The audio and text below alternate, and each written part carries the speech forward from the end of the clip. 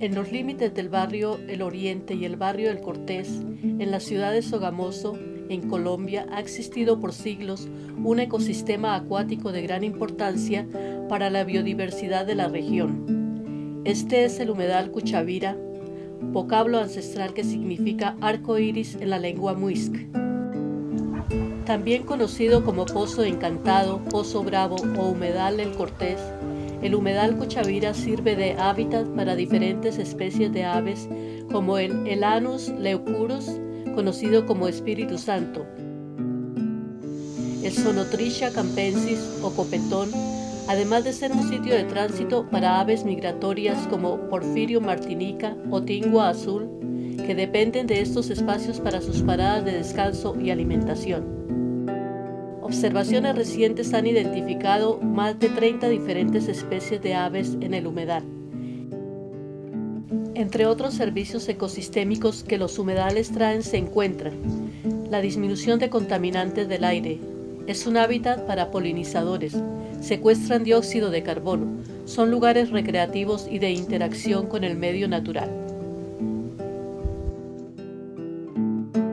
El humedal Cuchavira es alimentado por aguas de escorrentía y superficiales que drenan de las colinas localizadas al oriente y nororiente en altitudes que oscilan entre 2.515 a los 2.715 metros sobre el nivel del mar.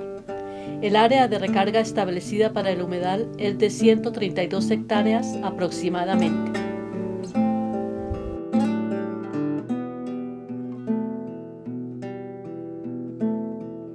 Desafortunadamente, en las últimas décadas, la zona de recarga del humedal ha sido afectada por la expansión urbana, lo que ha conllevado a que los drenajes naturales se vean interrumpidos y las aguas de escorrentía desviadas de sus cauces naturales.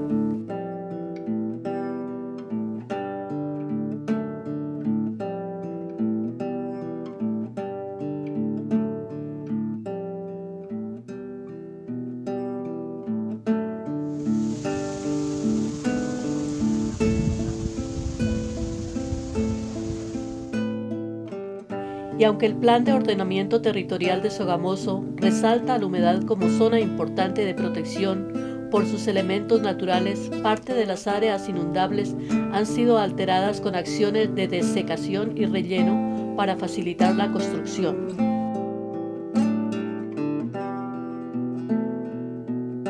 El humedal también se ve afectado por actividades agropecuarias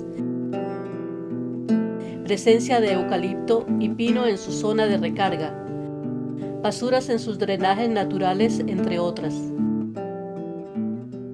Adicionalmente, el humedal Cuchavira aún no tiene un plan de manejo ambiental y de una delimitación geográfica que garanticen su protección. Esta problemática nos reúne hoy en reflexión en cuanto a las acciones que deben orientar a un manejo adecuado que armonice la distribución natural del agua y garantice la subsistencia en el tiempo de este ecosistema tan importante para la ciudad de Sogamoso.